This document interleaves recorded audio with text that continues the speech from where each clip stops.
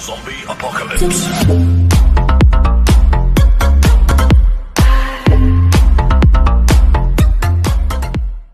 halo guys, balik lagi di channel gue Dia Gaming.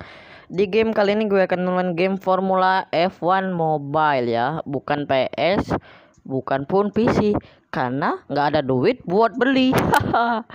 Jadi kita main gratisan aja ya. Meskipun gratisan, tapi game ini seru juga ya, kayak di PC dan kayak di PS. Di sini untuk labnya mungkin eh, 5 lap aja cukup lah ya, biar nggak terlalu lama, nggak terlalu cepat. Untuk kesulitannya mungkin medium normal aja oke.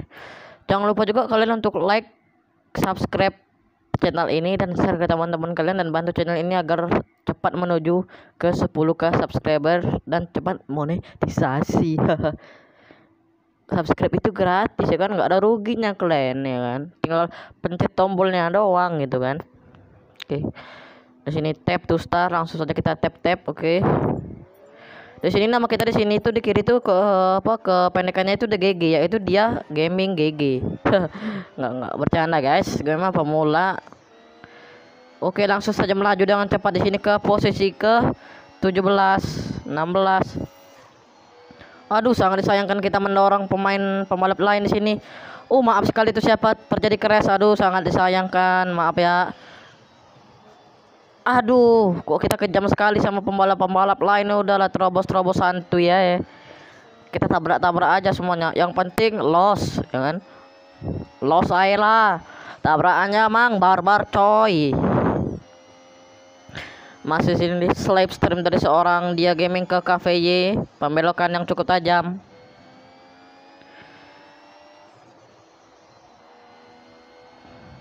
Masih berusaha mengejar cafe Y.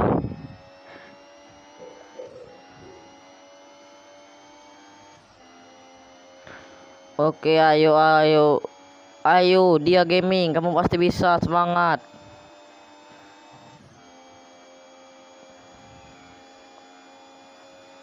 Oke, masih bisa lah ini ya ngejar posisi terdepan karena gapnya nggak terlalu jauh. Kenapa gue pakai racing line ya? Karena gue nggak terlalu jago, nggak profesional kayak pro player ya kan. Gue mah no player emang. Oke masih berusaha. Dan juga gue rekomendasi game ini untuk kalian ya. Di saat-saat game apa kalian bosan main Bosan main Free Fire Mobile Legend, PUBG, CODM Kalian bisa main game ini ya. Karena game ini tuh cukup seru.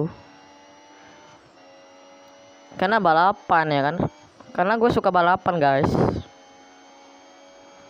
Apalagi F1 ya motor GP cuman kalau motor GP itu gue nggak tahu guys. Kan di handphone itu motor GP nya itu jelek-jelek semua nggak ada yang bagus. Serius gue mah gue mah ngomong apa adanya apa adanya aja jujur gue mah. Nggak ada yang bagus motor GP di Play Store. Bagus itu kayak siapa tuh? Gorioris ya kilat itu bagus loh motor GP nya karena mereka itu beli guys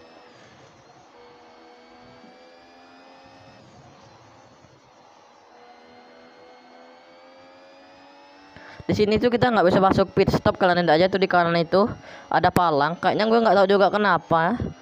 Dan juga di sini itu ban itu kita nggak bisa milih ya. Kayaknya ini bannya warna kuning jadi soft terus ya oleh developernya. Dan untuk developer gue udah masukkan tambahin masuk pit stop ataupun milih ban sendiri ya biar ya seru aja gitu. Kita milih ban sendiri ya kan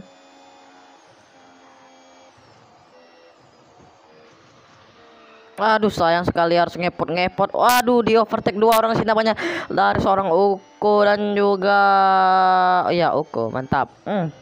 Di overtake lagi kita mantap. Karena kita ini bukan profesional sudah lah ya. Yang penting kita udah berusaha semaksimal mungkin.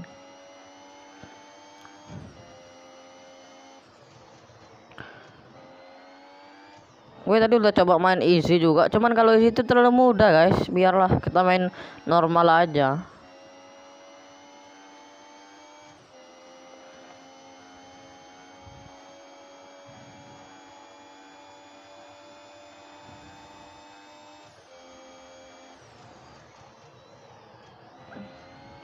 DRS zone incoming. Ah apalah itu gue nggak pinter bahasa Inggris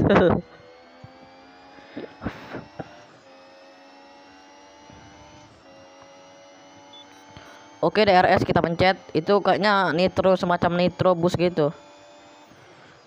Itu kan jadi kencang gitu mobil kita.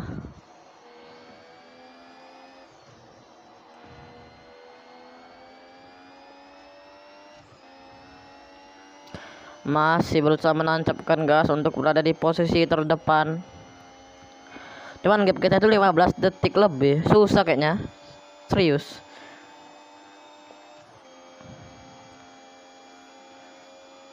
kita ngejar si gas aja itu udah susah guys. Karena mereka itu pro player.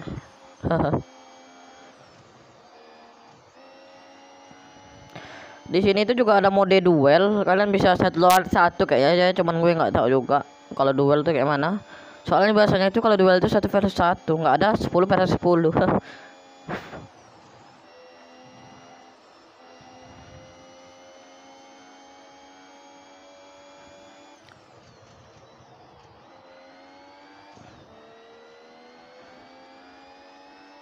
dan buat kalian yang pengen lihat tampilan mobil gue ya ini ini mobil gue ya. Nah ini mobilnya. Oke kita balikin lagi karena lebih suka mode ini kameranya.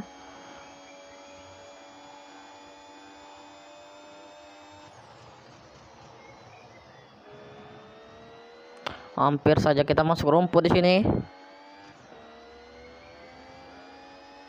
Oh ya kalau komen komentator gue ini kayak eh, nggak eh, jelas gitu maaf kayak ya. Karena gue nggak terlalu pintar jadi komentator F1 Oke di posisi ke-12 DGG dia gaming GG tapi bohong GG nya cuman di game Free Fire doang haha.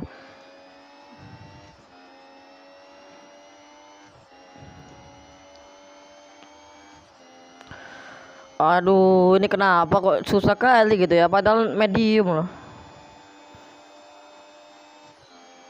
kita susah payah gitu ngajarnya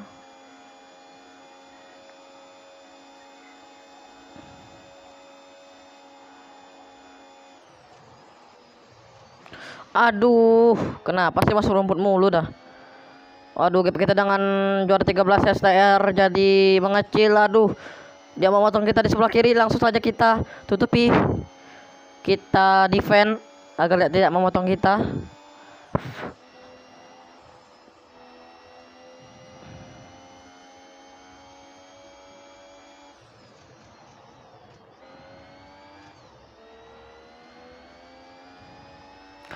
Oh, gue di sini memasuki next lap ataupun lap terakhir lap 5 dari 5. Namun sayangkan kita masih berada di posisi ke-12 sangat tidak menguntungkan.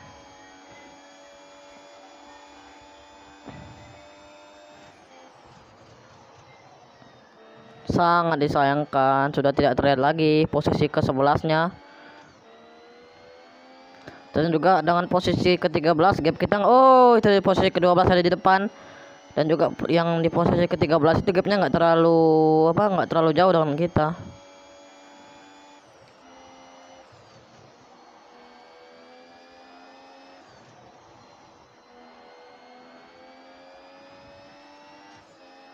Oke tampaknya ini finish. Apakah finish? Oh belum. Ya biasanya kalau ada cockpit pit stop itu kayak apa kayak mau finish ya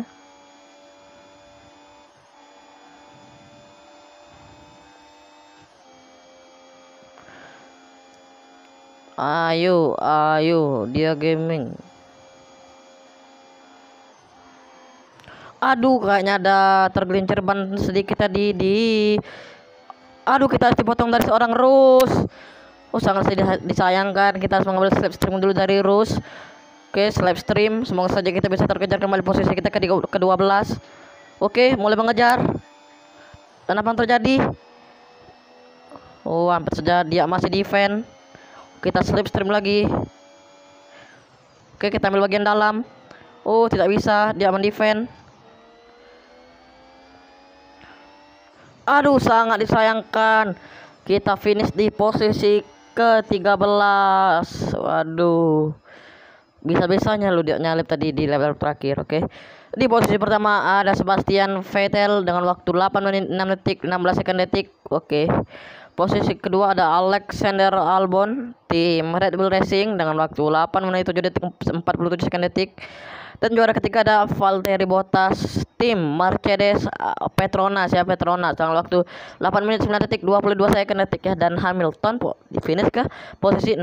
Aduh sangat disayangkan. Dan dia gaming finish di posisi ke 13 aduh ya udahlah guys ya. Maafkan lah ya guys ya. Karena lawannya itu susah-susah ya mungkin sekian dulu video dari gue untuk video kali ini.